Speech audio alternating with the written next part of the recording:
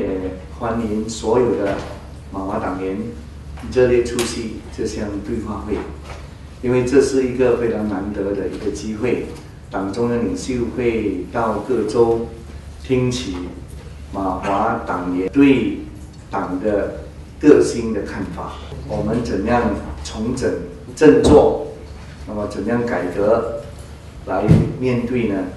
呃，未来的这个挑战。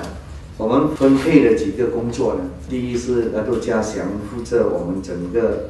党的中心思想啊、理念呢，还有心理战术跟年轻人这个工作，哦，以便能够让党呢，呃，在最辛苦的时候，一些新的意见跟看法，那么来调整党的步伐。那么那个座陶跟那个霍中负责整个党的。组织改革跟品牌的这个塑造，以便能够确保党的组织改革方面，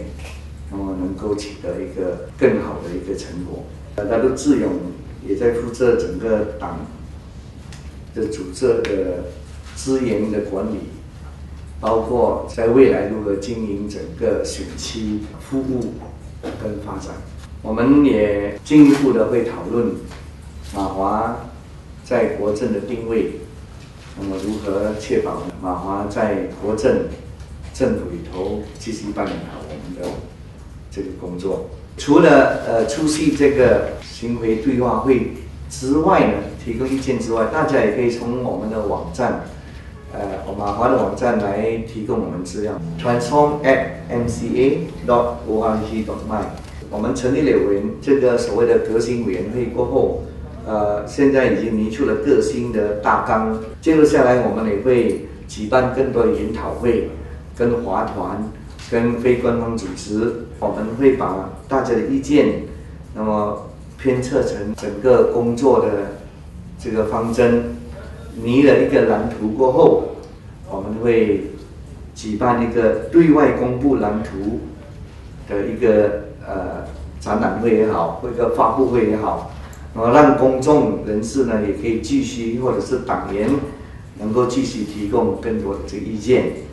那么最后，呃，我们才会交到中委会。中委会如果能够接受这个蓝图过后呢，我们将会提呈到十二月二十一号的法华中央代表大会。